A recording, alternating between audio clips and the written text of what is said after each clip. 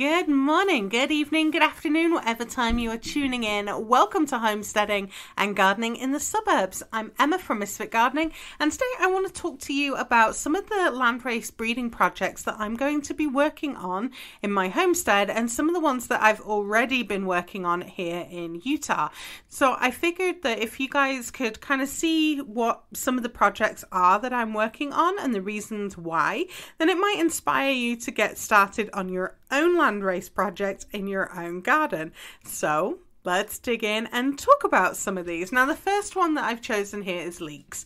And if you are part of the Facebook group, this is not going to be a surprise because I've shared quite a few pictures of the leeks, them going to flower, the seeds starting like all of that stuff because um, it's something that I'm pretty passionate about. So the goal for the leek project is to have um, an overwinter harvest without frost protection. That's ultimately what I want. So I want to have leeks where I can go out in the winter. They're not under, you know, a hoop house or, you know, frost fleece or anything like that. I can just go out, I can, you know, clear off a bit of snow and I can pull the leeks out of the ground.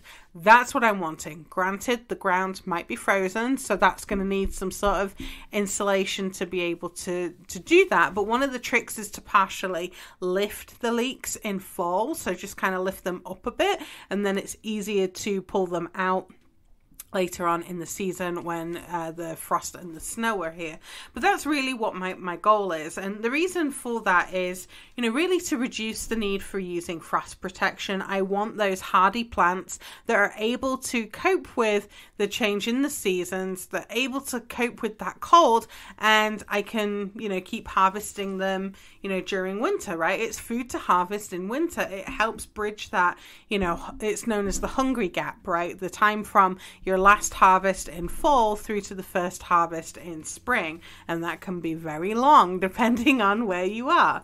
So I really want to be able to to do something like that with leeks. And I mean we really love eating leeks here. And one of the things that I really love is you can have way more plants in a space in comparison to onions. Although I recently saw on um, a YouTube channel um, that I was watching of, oh my gosh, there was a guy in the UK and he has like an off grid um, homestead I don't really know where it is. Like I knew that he was from London, um, but him and his girlfriend have this, you know, 18 acres, I think it is, and um, you know they're kind of moving towards being, you know, off grid and self sufficient and stuff.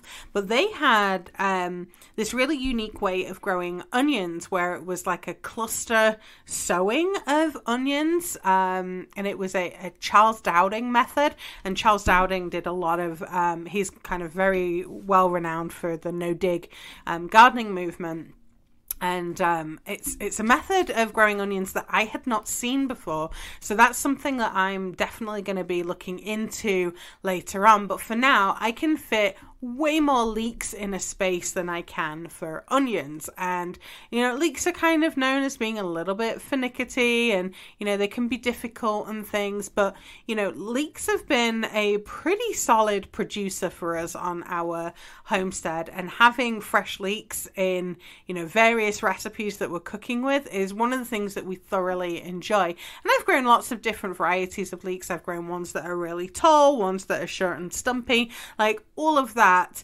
Um, and, you know, those kind of traits are things that I will look at much later down the line. Right now, what I'm focusing on for my landrace project is I want things that are going to survive through the winter. So everything that survives through the winter, I'm then I'm keeping them in the ground. I'm not harvesting them. I'm keeping them there in the ground so they will then produce seed. I'm letting that pollination happen and then I'm saving that seed to then grow again the next year. So the seeds that I've saved here from Utah, they're then going to be placed into the garden that we're going to be having in Maine. So we're going to see what is going to be surviving out of that. Now, one of the challenges that I'm going to be facing is, um, you know, there's obviously going to be quite a high die off rate. So I planted two boxes um, here in Utah of different uh, plants, and you know not all of the plants made it through winter and that's totally fine um, so i'm not sure on the seeds that I'm saving, you know, this this year that I'm then going to be growing um, out in Maine, I have no idea what is going to be making it through the winter, if anything at all, when I grow it next year. So um, I'm going to be having to sow quite a lot of the seeds um, to see if anything is going to be surviving, because that's where you hedge your bets, right? You you plant a lot more of the seed out and hopefully one or two of those plants are going to make it. So you can then save the seed from that. It survived and then keep keep that cycle growing. And then once i've got solid you know plants that are going to make it through winter then i'll start to hone in on okay what are some of the other traits that i want? Do i want them to be you know short and fat? Do i want them to be long and skinny? Like what are some of the things that i'm wanting to then you know be able to use the plant better in the kitchen. So that's my first project. Uh, the next one is squashes, um, and this is uh, another multi-phase project, just like the leeks is kind of you know multiple stages, right? Um, so the squashes are going to be in multiple goals. So the first goal is ripens in a short season, no surprise there.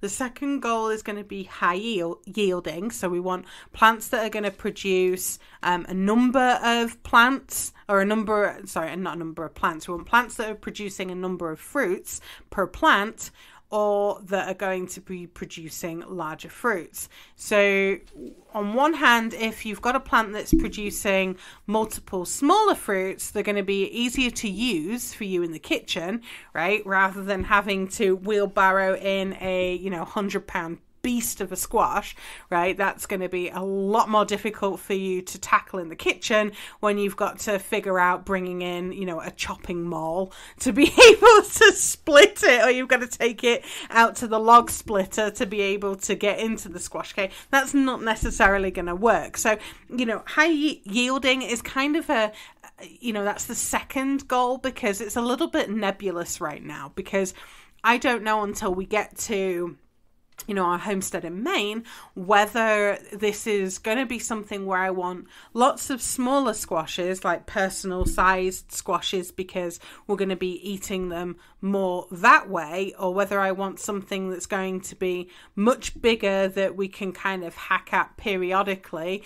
And, you know, let's say that we've got a, I don't know, a 60 pound squash, right, that we, we haul in, whether we as a family are going to be able to stomach eating squash for like three weeks without getting bored. Um, I can tell you just with knowing how my family is and what we've kind of done here in Utah, having smaller personal sized squashes is much better for us as a family. Like growing the big squashes is really great for, you know, we have a pumpkin growing competition between us, right? And then we always carve those pumpkins for Halloween. Um, but you know that's that's kind of a, a, separate thing for us kind of managing you know the day to day and eating from the land having something that produces many smaller fruits is a lot more advantageous for us Goal number three is that it tastes great, and that's again kind of nebulous because it's depending on what we're going to be using the squash for, right? There's different types of squash. There's the pepos, which are your acorn squashes, um, your spaghetti squashes, those kind of things, as well as your summer squashes and some of the field pumpkins. So, um, you know, the big like pumpkin varieties that you can get. Um, those are often the pepo varieties. There's the Maxima variety varieties, and they store a little bit longer than the Pepo varieties. Um, sometimes those are like um, your Cinderella type pumpkins, um, or they are things like your butternut. Uh, not butternut, your buttercup type squashes, right? The the texture of the flesh is a little different. It, you know, it's often not as stringy. It's a little bit more drier um, and kind of more crumbly. And then you have your moschatas, which are like your butternut type um, of squashes, um, you know, or like your Seminole pumpkins, those kind of varieties. So there's differences there, and you use them slightly different in the kitchen, right? So so depending on the varieties of, of squashes that I've got going in this um, landrace breeding project, and there's going to be one for each different type of squash for sure Um, but maybe I'm looking at, you know, sweetness for pies. So the Pepo varieties, those are things like your delicata squashes, right? I want those to be really sweet to have then, you know, make pies for the holidays and stuff. Um, or, you know, maybe I want ones that are better for roasting and taking on those, um, you know, more. Um, savory flavors, right, for the Maximas and the butternuts, right? And I know for some people, you know, they want a squash that has like a longer neck. So, you know, varieties like the Pennsylvania crookneck, um, you know, those offer some some really good uses in the kitchen because they're much easier to use because you're not having to deal so much with, you know, a seed cavity and then try and peel around that and you've only got like a little, you know, like one inch layer of you know, a less, you know, of um, squash that you're trying to deal with. Whereas if you've got a long neck, you've got a big chunky amount of squash, you can have it nice and chunky, and you know, you get a bit more, um, you know, for for your the plant there. Um, so it really depends on how you're using them in the kitchen. So for me, for you know, if I'm growing kind of a, a butternut type, um, you know, must moschata type of um, plant, then yeah, I can definitely see having something with a longer neck is going to be um, way more useful for me in the kitchen versus something that is you know smaller and rounder. Um, so it, it really depends, right? And your you know likings for a squash are going to be way different from mine but that's part of the excitement of being able to develop like these landrace projects because you're you know helping them to the the plant you're helping them to figure out like these are the traits to continue propagating because these are the seeds that you keep saving so one of the things that um, we have been doing is I've been growing different types of. This year I did different um, varieties of squashes, and I've just kind of let them all pollinate together. So I had um, a couple of um, Italian varieties, although their their names um, are escaping me right now.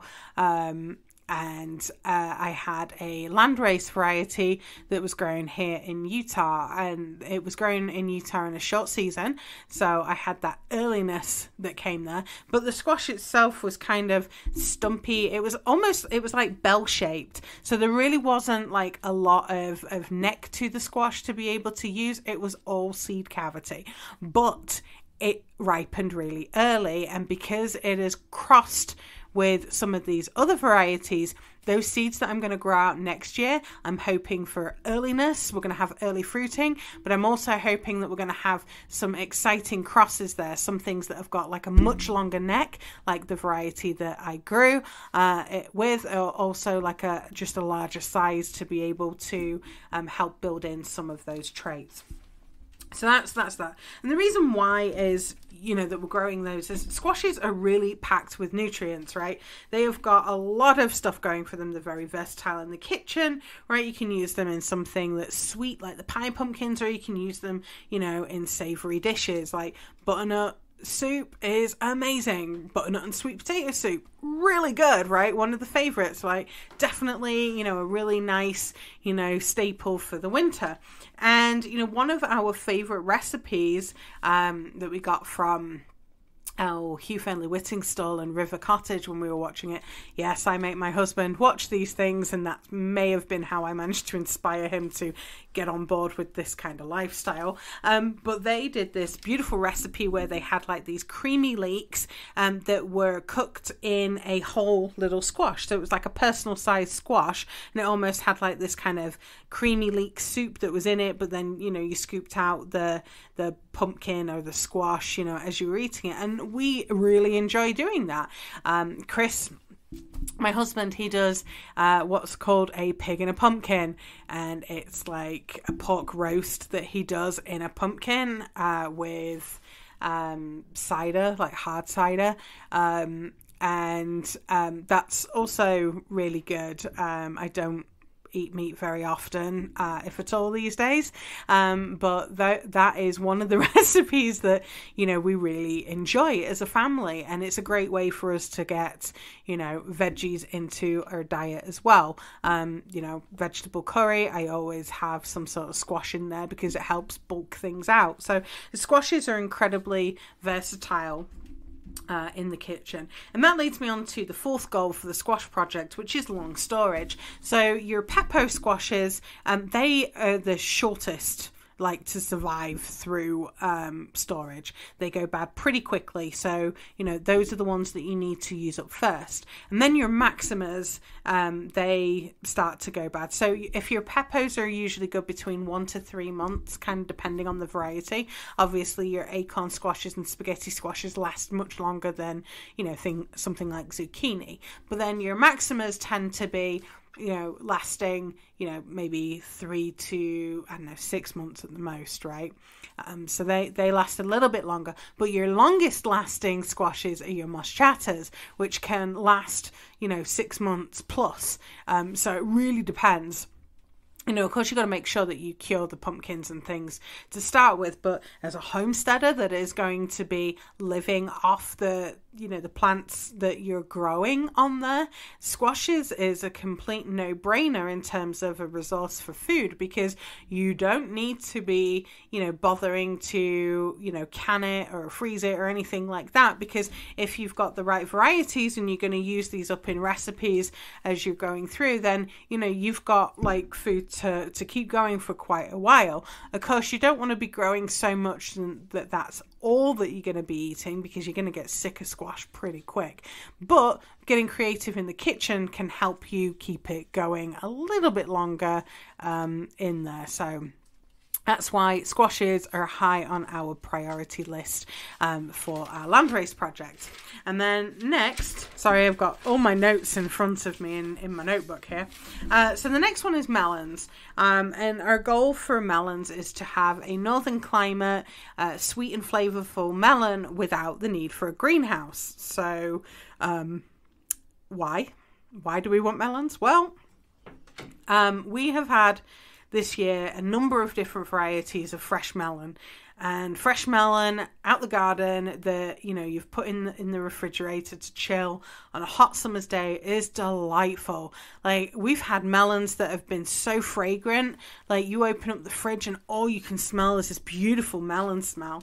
Um, it's it, it, always makes me laugh because i knew that the melons were coming up ripe because um, sparky my border collie um, he's he's 16 bless him and um, he would like make a beeline to the melon patch. He loves melon, absolutely loves sweet melon, and um, he would be going over there, and he's like looking at the melons, and then looking at me, and then looking at the melons, like, well, if you don't pick it, I'm gonna. So, um, you know, he he really loves loves the melons, and of course they look like a, you know a giant ball for him. So, you know, entertainment on multiple levels there for him.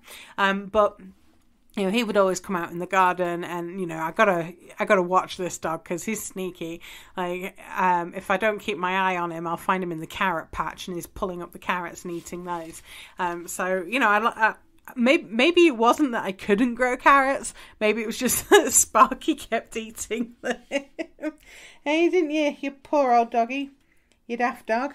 Um, he's by my feet while while I'm recording this. But melons are, you know, definitely a seasonal treat that we love, and um, you know, having the experience of growing my own and I think the only way that I can really explain it is that my outlook on melons has been completely transformed. Like melons were a fruit that was like, eh, I can give it or take it because they're just so insipid from the grocery store. They're just, you know, it's just slightly sweet water, maybe. Um, you know, not a lot going for it, but growing your own and seeing like the complexity of the flavors and how they differ. So we actually had a number of different varieties um, of melons growing. Some of them were uh, OSSI variety, an open source seed initiative variety. Um, some were, you know, like different heirlooms. I cannot remember the the variety of heirlooms that um, I had, but I had multiple of them. I want to say one was like uh, Delice de la Table. Uh, not that my French is any good. Um, and then another one might have been Halley's Best or Hale's Best. I think it's Halley.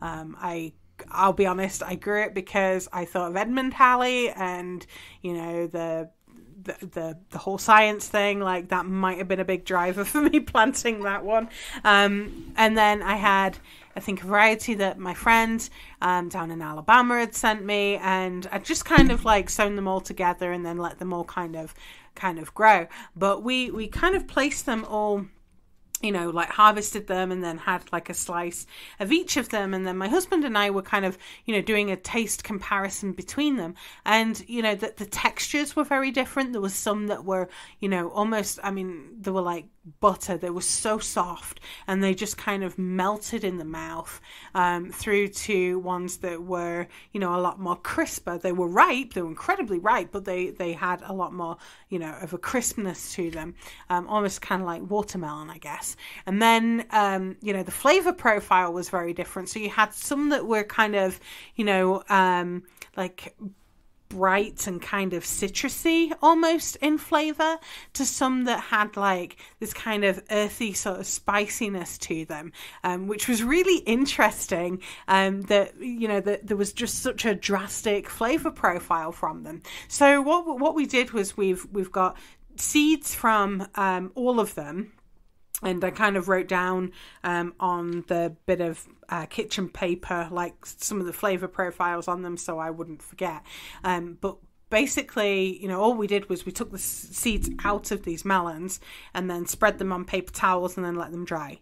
Um, that that's seed saving super easy right melon's dead easy to do um, and you know what the, the plan is is we want to plant out a bunch of, of these um, melons and see if we can get some that are going to ripen within a short season now i could grow them in um, the greenhouse but i am actually going to be needing the greenhouse for other things like hot peppers and stuff like that um, so I want to make sure that the, the greenhouse space that I have is going to be used more efficiently. So I would much prefer to have melons growing you know, outside of the greenhouse if possible.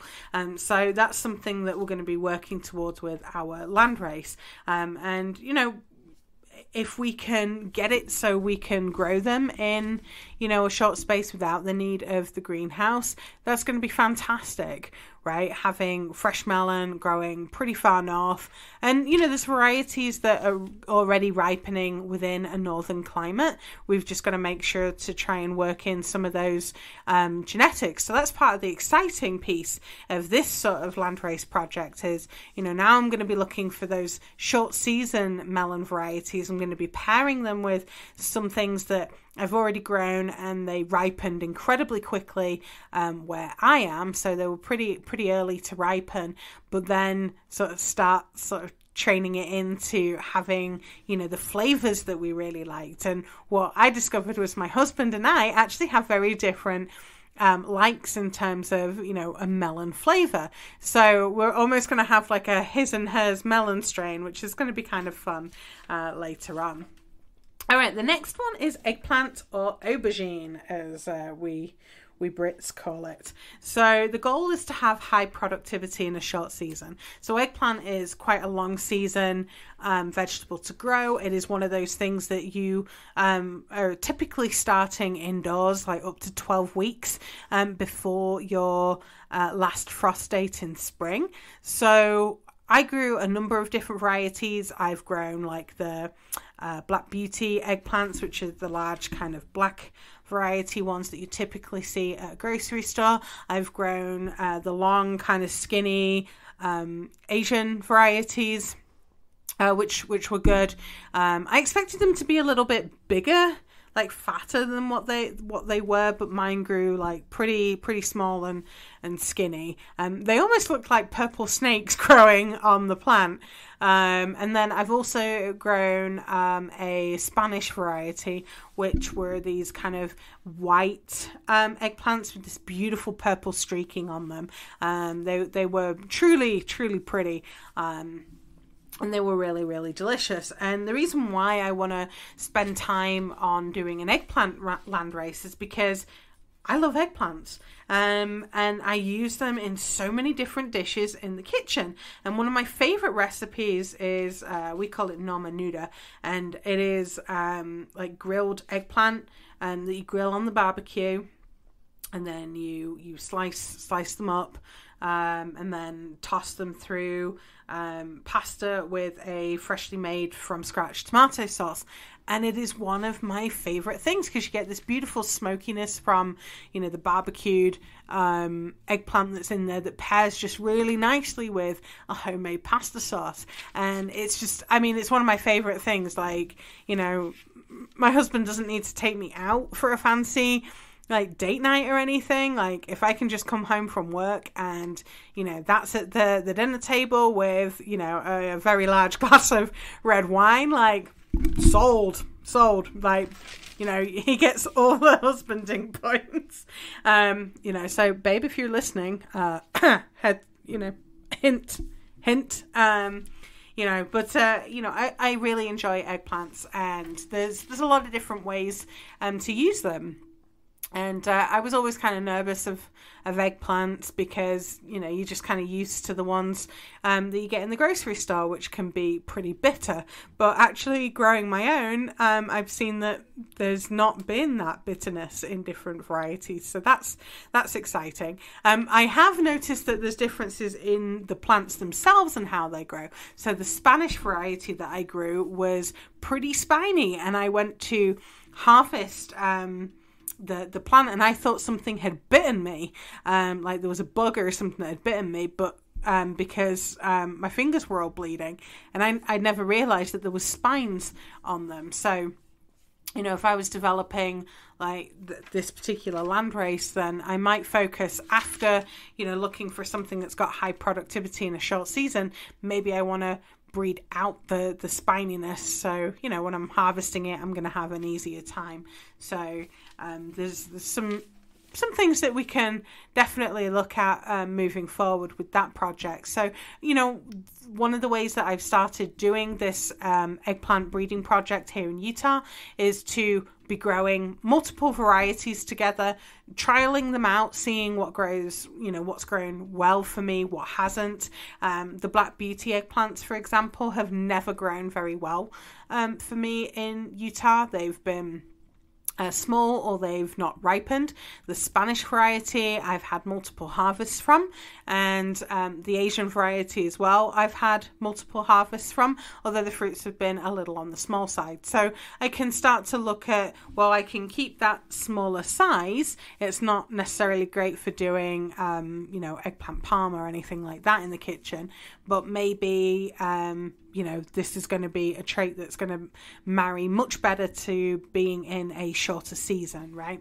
And the same could be said for, you know, peppers or anything like that, where you're trying to get things to grow in a shorter amount of time. You might do better sacrificing having larger fruits for having multiple smaller fruits because to be able to get the same like weight in harvesting. So just something for you guys to think of. And my final vegetable that I'm going to be working on for a landrace project is actually kale. And I know kale, you either love it or you hate it, much like a uh, favourite UK, um, you know, sandwich spread, although I guess well, I just have it on toast when I can get it. Uh, we all know uh, what we're talking about. It's a brown jar with a little yellow label on it. Um, I love the stuff. Um, I I'm really weird. I really like um, that in with bananas in a sandwich. I know that's just really weird. My mum made it when I was a kid, and uh, somehow I've never quite kicked the habit for that. But kale is um, a really really great vegetable. It is packed full of different nutrients. Um, it is very, very good for you. It's loaded with lots of different vitamins and minerals that your body needs. Um, and one of the things that you know I really like is the the goal of having year-round kale growing without frost protection. So just like I was talking about the leeks, having plants that will grow without the need of frost protection that I can keep harvesting is is kind of um, pretty alluring for uh, me as a homesteader. Now, kale, cabbages, those kind of things are going to freeze uh, pretty pretty solidly, I would think, in Maine. Um, so I'm going to see what I can get in terms of winter hardiness by growing different varieties and seeing what is gonna, you know, tolerate through winter much better. Some of the Russian varieties of kale um, tolerate the colder conditions far better. So in my garden, I've grown multiple varieties of of kale over the years here in Utah, and the ones that have, you know, um, consistently made it through winter without any frost protection whatsoever, um, that have thrived the next spring and then just put on a, a boatload of flowers that have brought every single pollinator within like you know a five mile radius to my garden um, have been the the ragged jack or the the red russian varieties. And they go this beautiful in a burgundy red color when the weather gets cold. Um, but having you know different types of kale that are more adapted to the cold is quite an exciting prospect for me. Um, one of my favorite kales to grow was one of those early vegetables that I grew in my parents' backyard, and that was a Jersey walking stick kale. So that's always got quite a uh, you know, a, a, special place in my heart, as well as the Scotch curly kales. Um, I, I love to grow those. My dogs love eating kale. They absolutely adore eating it. And I always know when it's like a, the perfect sweetness because, you know, I'll turn around and I will find, you know, all four of them nibbling on the kale, uh, which, you know, again, I'm pretty sure Sparky's the ringleader of that one. Like, hey, this is great. Y'all should uh, get in on this. Um, so, you know, having um, you know the the dogs isn't necessarily a good thing in the garden. Um, but it, it does offer a lot of possibilities for having food that's available throughout that hungry gap. So remember that's the time from your last harvest in fall through to the first harvest in spring. And you know that's often like the longest time for people. And that's when you know you as a homesteader you're you know really starting to you know use up the the preserves that you have things that you've canned things that you've frozen, things that you've dehydrated um, to really stretch through um, that hunger gap, right?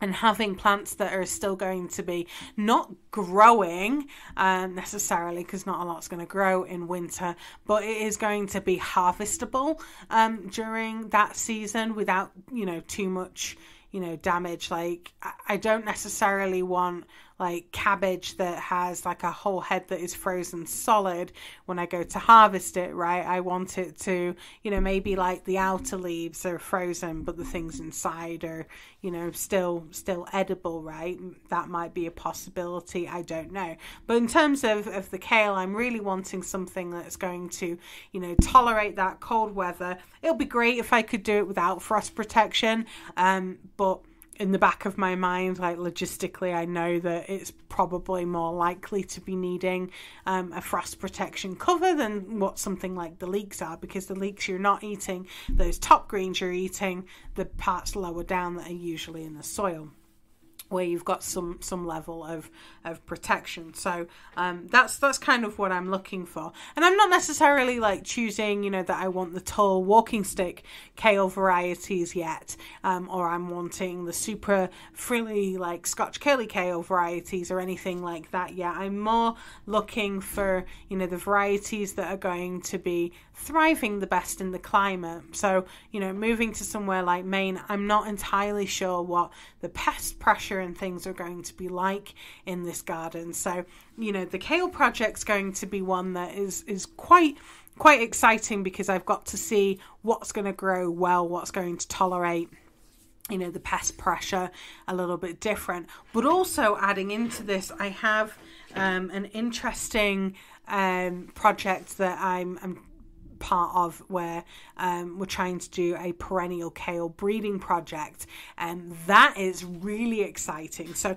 growing up in, in the UK, one of the things that was quite fun to forage for is sea kale, which is a, a perennial um, member of the Brassica family, obviously grows by the sea, and um, it grows year round So, some wonderful gardeners have been working very diligently to have a perennial uh, kale project. It's got lots of different genetics and things in there, and that's something that I think would be incredibly exciting. And that's kind of what started this year round kale growing as being part of, of the landrace activity. So, um, I've got a going to be having like a perennial kale project that's going off separately that I can then contribute um, the seed back to as part of this ongoing breeding project, uh, which is going to be really cool if I can get it to work in Maine.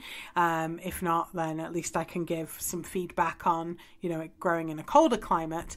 But if I start to see traits of this land race where we've got potential for this year round thing happening, and I've got something from the perennial side that's happening, then I might see about portioning off some of those seeds to start developing a more perennial activity. So there's a lot of things that are going to be kind of cool and exciting happening on the homestead. But that's just five of some of the bigger landrace projects that we're working on. There's lots of others too, from growing grains and upland rice um, through to, you know, um, maintaining and growing different uh, lettuce varieties. So I would really like to know from you what's going to be your landrace project. What varieties or what um, vegetables are you going to start with? So let me know in the Facebook group. I would love to hear from you.